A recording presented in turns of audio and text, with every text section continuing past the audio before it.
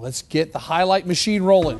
They're separated by just four miles. Johnsonville and Hemingway, the Hatfields and the McCoys, Would Lewis Lineberger have an answer against the number one team in the state. Early on, Hemingway defense comes up with a turnover.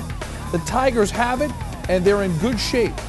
So with good field position, Gerard Hayward and the Hemingway offense goes to work. And this is LaMichael Pouchet. And this isn't your ordinary 11 yard run. Look what he does to get those yards. Tremendous balance, great power, and Hemingway's on the doorstep. Hayward to Jabril Solomon right at you. 18 yards to the five yard line, and it would lead to this LaMichael Pouchet. Right side, great blocking by the O line. Five yards for the score, 6 0 Hemingway. The extra point is no good. Johnsonville once again trying to get things going on offense. It's a loose football, and Jabril Solomon is there. Boy, he gets it done on both sides of the ball. Solomon selected the Shrine Bowl, and you can see why. Now, here come the flashes. It's still a 6 0 game. Tushai Edwards, a 13 yard run. And then Bryson Allison, same drive, start of the second quarter, a 12 yard run. So the Flash is looking for three points, but Drew Meglin's kick is no good. It stays 6 0. Then, under a minute to go in the first half, Johnsonville back to punt.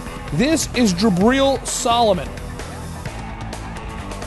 And watch what he does. Oh my. Jabril Solomon looks like it's going to be a 13 0 game, but hold on.